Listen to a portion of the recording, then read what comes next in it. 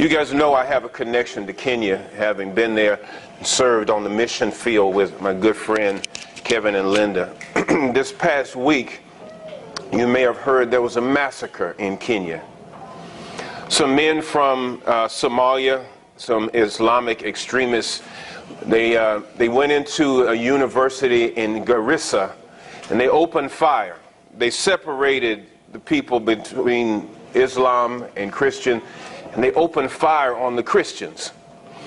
He killed more than 100, nearly 150 people lay dead.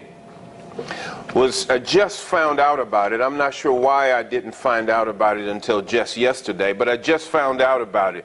Kind of shook me up for a moment.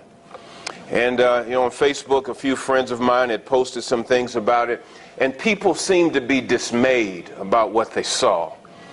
They seemed to be shaken. And as I thought about it, I said to myself, you know, um, the, the body of Christ is supposed to be able to stand through some of the most uh, awful circumstances.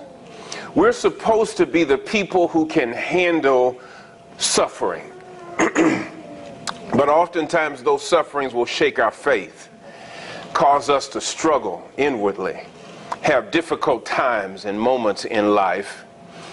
And what I really think is that at some point we need to sort of shake ourselves away from the folk religion that sometimes masquerades itself as Christianity. And what we need is a faith that is adequate for the complexity of our lives. On this resurrection day, I want us to look at 1 Corinthians 15. It's sort of the seminal passage when it comes to the resurrection. It's where we get our real understanding of the resurrection. But what I want to draw your attention to is that very opening statement that the apostle gives, where he sums up the end of verse 2 with saying, Unless you had believed in vain. He's going to ask the, the Corinthians to do some things, and he's going to say, so, so that your faith won't amount to nothing. It won't come to nothing. Here's the, here's the thing that ought to strike you as odd.